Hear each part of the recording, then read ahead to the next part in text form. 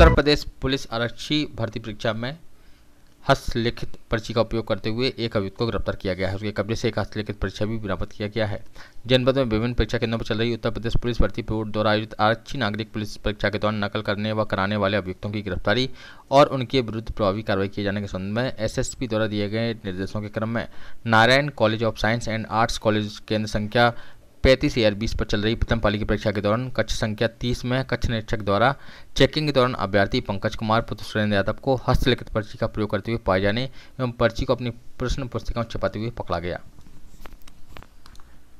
ये पुलिस भर्ती की परीक्षा हो रही थी, उसमें एक व्यक्ति पकड़ा गया है।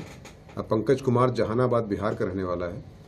और वो कुछ प्रश्न पत्रों का जो है जो कभी गेस के आधार पर, अपने गेस के आधार पर उसने उसका एक चिट पर जो है आंसर लिख के लाया था और वो नकल करने के दौरान पकड़ा गया है। पंकज कुमार नाम व्यक्ति है, जहानाबाद, बिहार का रहने वाला है। और इस पर जो है, तीन बटे नौ जो सार्वजनिक नकल अधिनियम होता है उसका अभियोग दर्ज करके जो है, विधिक कार्रवाई करते हुए जेल भेजने की कार्रवाई की जा रही है।